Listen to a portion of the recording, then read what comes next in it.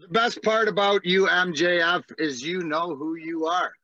Dimitri said you're an asshole and you know it. I love you. Yeah. That's the thing. Is there is there a match that maybe look for in the future?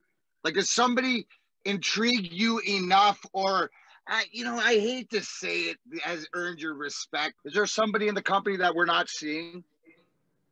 So somebody inside of AEW who I haven't wrestled yet, or or with New Japan being in in or TNA or something like that. Like the door's been open, so now there's a conversation.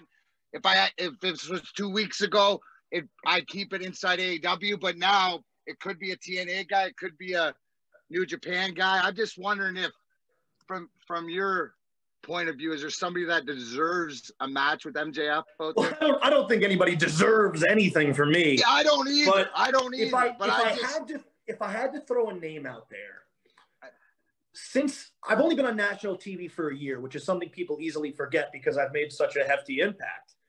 But I've, I've, for whatever reason, when fans see something that they they despise and they they just hate it from the inside, the bowels of their guts, what they want to do to discredit that person is to start comparing them. Now, I must be tweeted in about a thousand tweets a day with a guy named Jay White and I'm getting real sick of it. Okay? I'm going to be mm. honest. I have not seen enough of this man's stuff, but I can tell you this nobody's on my level. Okay? Nobody is.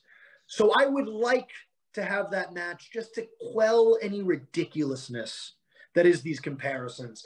As far as outside of that sphere goes, a match that I also hear a lot of scuttlebutt about people wanting to see is me versus a gentleman by the name of Adam Cole. As of right now, not a possibility. Could it be in the future? Who's to say?